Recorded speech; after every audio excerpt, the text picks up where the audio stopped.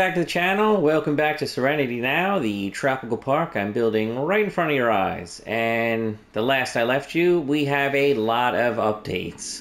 So first of all, back here, um, Craig Moss, the carpenter, head carpenter, he got the mechanics office done for uh, Kingman. So Kingman now has his office all ready to go. He's in charge of all the mechanics and oversee most of the coasters and whatever rides we you know throw in this park. Um, nothing really over here, so let's zoom over this way. All right, just watch out for the plants. Um, uh, looks like Iron Matty finally got here. Uh, Michael's still here, so that's good. So hopefully the coaster's you know getting almost done or whatever. Um, actually, if you look over here, so I added the second wall height. I might drop it down a little bit, but I kind of like it a little bit higher. Um, only so like you can't see back here, um, you know, from the queue line in some parts of the coaster. So I'll show you that a little bit later. Um, you know, I have more big plans for the coaster too. So the coaster's not even close to being done. Um, again, you know, I just doubled up the door and stuff like that. Um, over here, it looks like someone new's coming, and they got something important in the back. So uh, we'll see what happens with that later. Um, yeah, here's Craig Moss, the carpenter. They are starting to work on a security booth, so I figure this is the road that leads to outside the park. So you know, this might be like uh, the entrance to the backstage that they'd have to pass through security. Um, just look at that coaster; it looks cool. um, all right, what else did we do over here? Anything over here? Not really. Um, we'll get over here. So getting over here, another big update. We got this bridge done. So I was originally thinking about doing like a different type of bridge, but then I just had this feeling that, you know, this area is like the central hub. So I kind of have, you know, this this first bridge here and then the second bridge here and then the third bridge eventually will go back here. So I kind of figured all the bridges should kind of be the same. So I basically just, you know, um, copied the bridge over from the other area, and, you know, I think this bridge looks really good. I like the way it came out. I mean, to be honest with you, it would have taken me all day to, like, try to reinvent the wheel when I really do like how the bridge looks. So, um, yeah, so the bridge is now done. All right, so coming over here, uh, I don't know if I... You, no, so I added some flowers. I added some color here. Let's actually look. I added some color over here. Um, you know, nothing much, just a little bit of pops of color here and there. Um, and I got this fence going along the side over here. Um, I do really like the fence a lot. So if you actually notice, the fence, fence is a little crooked and stuff like that. And I did that on purpose because, again, this ride is called Tropical Storm. So I kind of wanted to make look like, you know, so like here, here's like a fence completely, you know, pushed back and, you know, they're all crooked and stuff. So I wanted to make it feel like, um, you know, you're getting into like some sort of disaster or something like that. Even though it like looks really nice over here, uh, the rest of the ride isn't going to look, you know, this nice. Um, added this, you know, little water feature in here. Your feet do not touch. Don't worry, I planned it all out. Um, you know, I just I just like that part. I didn't get to the queue path yet, so the queue path isn't done. I had a new idea, and I don't like these concrete uh, paths or like this path covering. So I'm actually going to change that out to the um, uh, the firehouse roofs, and and that, that way I could change the color. Um, as you can see, the coaster house isn't done yet but I did get like this outline of um, let me zoom out a little bit. So I got a little bit of the outline of how it's gonna look. So here you got like you know your your steps leading up. I still kind of do realism. So if you actually do some sort of realism, um, the steps shouldn't be any more than two sets of steps before there's a landing. Um, that's actually like how it would be in a real park. You wouldn't have like you know four sets of steps without a landing and stuff like that. It's just uh, a safety feature that you know these parks would have. Um, but yeah, I just got like the you know overall design ready to go uh, for the bottom of the coaster house, and you know here's the exit over here. Um, again, if you um, if you listen to me before in one of the other early episodes, everything's going to be wheelchair accessible. So I'm planning on making a wheelchair like entrance on the exit, and it'll probably wrap around the side of the building and then go over here, and then in this little alcove over here will be the um, uh, the elevator lift for the wheelchairs. Um, if we get over here, we could see Iron Matty's here. And Iron Matty is talking with uh, Tall Guy Gaming and Michael. You know, uh, I'm guessing he just took a ride. Hopefully, he enjoyed the ride enough to give the seal of approval, so you know we can start getting this coaster almost done and ready for the general public. Um, on the lift hill, I had to do um, the coaster actually itself. I did more work on it. Uh, the lift hill, I took out one and, uh, of another of the um, the coaster supports just because the way I had it down here, it was running into things. Um, so I ended up like getting rid of that, adding some more supports where I could. Um, I actually spent another couple hours on this coaster. Uh, if you noticed, um, uh, I ended up noticing like again, I'm not good at coasters, so I'm still learning. But the um, the vertical G's were a little bit high, so I had to fix some of these uh, these loops um, you know, I ended up talking to Michael from M&J Games, and he gave me a suggestion, and I did the best I could to get this custom loop. And this loop, you can see now has like a different like overbank direction and stuff. So I tried to get the vertical G's down on these two loops. The rest of the coaster is totally fine. It's just these two loops. And to be honest with you, it is what it is. I, I did almost like two hours of fixing and I still couldn't get it down somewhat reasonable. It's still a tad bit high, but it's not terrible. I mean, again, I'm not the best coaster builder in the world, so you know, it is what it is. Um, I ended up adding this like barrel roll right here or heartline roll. I'm honestly not sure what it's supposed to be called. Um, I just thought this area just needed a little more excitement, I guess. Um, because what happens was when I was changing these loops, um, I was losing a lot of the excitement that I was trying to keep. So I ended up like making this turn way overbanked and then right into that like like twist or barrel roll, cobra roll, whatever that whatever it's called. I have no idea.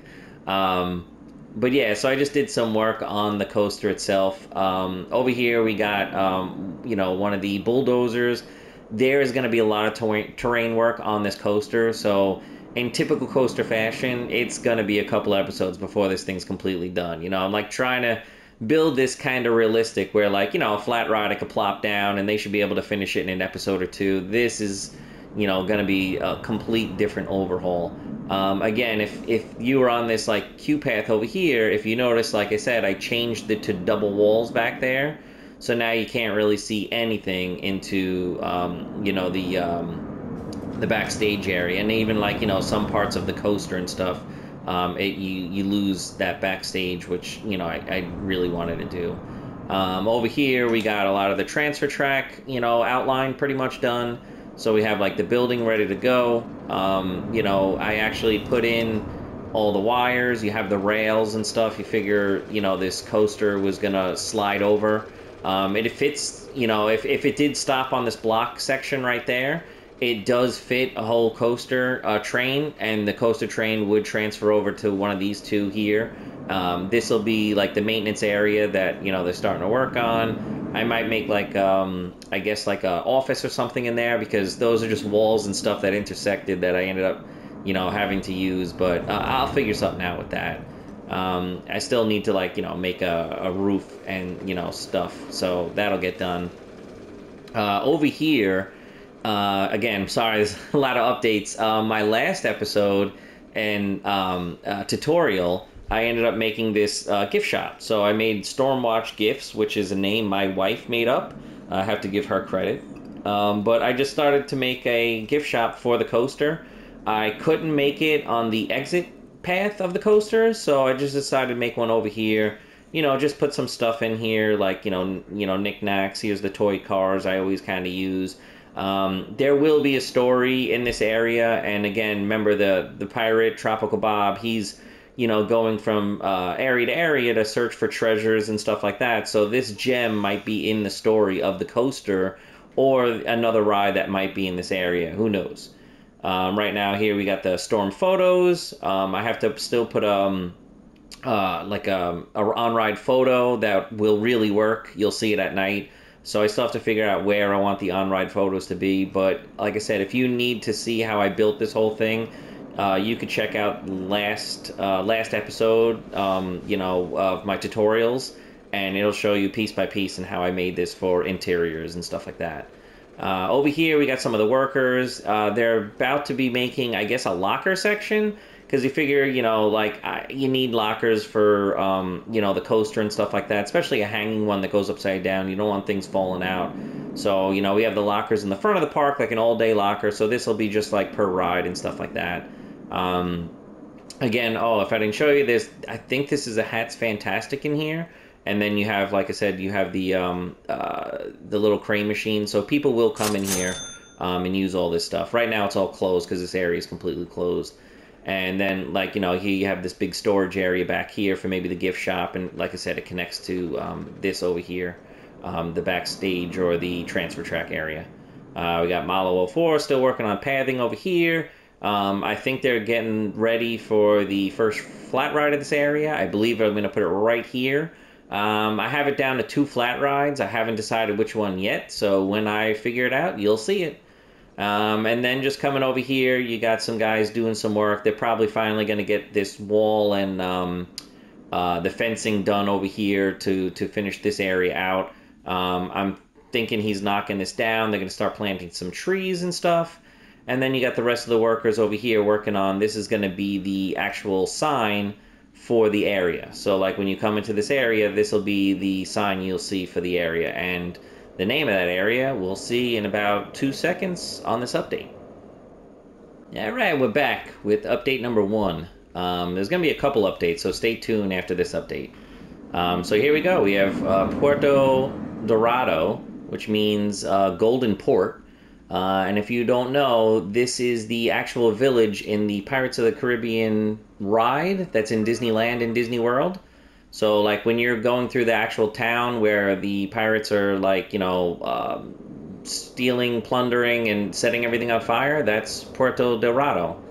Um, over here we just added the fence, finished off the fence, got some um, you know trees in. Um, we got some trees behind uh, Darren's Pizza Place, so it's starting to get full. Um, I added all this border around the sidewalk here. I really like the look of that. And then over here, I just finished up the uh, the wall area and stuff like that for the little backstage for the staff only area. And then um, you know just the planter. I carried the planter over from the front to the side, so that got done. Um, still didn't finish this um, these uh, planter box. I don't know what I'm going to do with that one yet, but I did do these two planter boxes. So these are ready to go. So we'll probably have to call Jasmine over to start getting some of these uh, plants and trees in here. So hopefully she'll stop by next episode and get that done. Um, over here, here's our locker section. Again, I added the, the border in between the sidewalk and the actual pathing um, just to break it up. But we have our locker area. So here's the lockers. Um, just did a little bit of theming on it, just try to carry it over from the building. You got your ATM back here, so there's an actual path over here. So the guest will come, you know, this way and stuff like that. So that'll be pretty cool. Um, right here, we got the transfer track. Um, it's pretty much all done right here. So we got like, you know, um, like a little safety fence right here. So this is the actual transfer track. You know, you got the, um, like the grading right here that like the workers would be on. This will be like the, the computer for the transfer track. So, you know, this guy is apparently still doing a little work. Who knows? But that transfer track is done. We can come down here. Here's the back of the facility.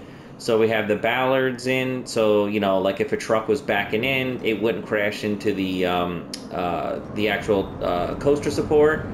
And you know, we got our big um, uh, garage door right here. You know, they would bring in and out the trains here, and maybe some other stuff like tracks and stuff like that. Um, so let's go through here, and this is all finished out. We have the little office. So if you remember, I made this little area. I turned it into like a little tiny office. You got a couple of uh, like you know power generators with the the wires going to it. Maybe these you know boxes do something. I don't know. just it looks cool. Um, just a little clutter right here. Obviously, there's a guy who works here inside the uh, the coaster facility. Um, we have another um, garage door here, so this will lead out underneath the the grates of uh, where the transfer track actually is. And here's just more like clutter and stuff that could you know, be outside. It's not a big deal if it gets wet or, you know, with the heat. And then I just added like an extra piece of track um, that they might have had that they didn't need, or maybe they have to fix something or whatever. So, you know, the, the track can sit out here in, in the weather. It's not a big deal. All right, so like coming back here, we'll go up these steps. And this is the actual area where they work on them and bring in the actual trains. So you got your um, supports holding them up from the top. Uh, you got another worker here. I don't know, those are like tools or parts. I have no idea. Just put them down. Here's a couple toolboxes, you know, just some clutter. Here's the uh, control panel I had outside. I copied. I figured these are for the actual transfer tracks for the, the motors that like move them along the lines and stuff like that. Um, and then it's just like I said, more clutter over here, more toolboxes and stuff like that. Um, yeah, I just really like how this came out and it looks really good. And you got your doors inside and outside.